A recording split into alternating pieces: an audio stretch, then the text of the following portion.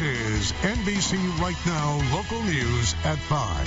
Plus, we sit down with one woman who's been battling lung cancer for a little over a year, and she tells us what's helping the long road to treatments. Don't go away. In your health alert tonight, medical marijuana. It's a hot topic that has a lot of people talking. Yeah, it certainly is. Mackenzie Maynard met up with one woman battling lung cancer and says the journey wouldn't have been the same without her cannabis. This is Carol Pierce, and this is her daily routine.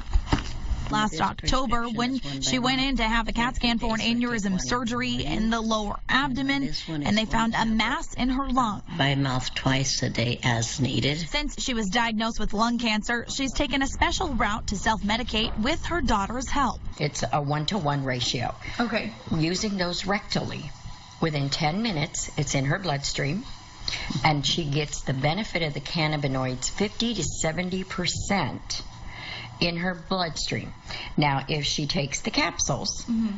it takes anywhere from 30 to 90 minutes for it to activate to an appointment.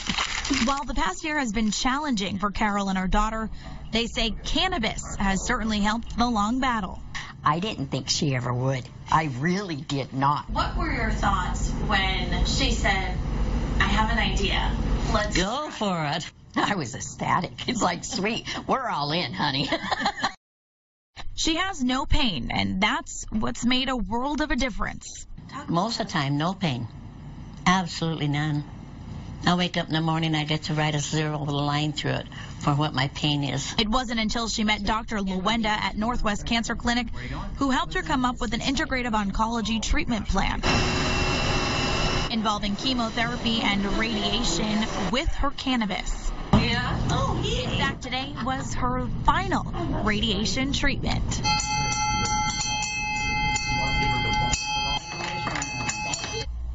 And after she finished her final radiation treatment, this is actually the diploma that she received as well.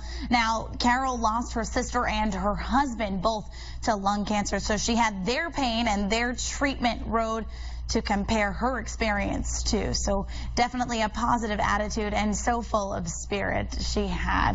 Live in the studio, Mackenzie Maynard, NBC. Right now, your hometown station.